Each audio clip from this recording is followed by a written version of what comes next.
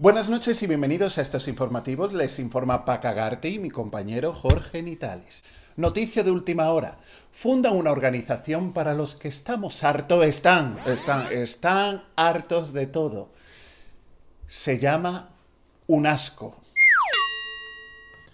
Les ha informado Pacagarte y mi compañero Jorge Nitales.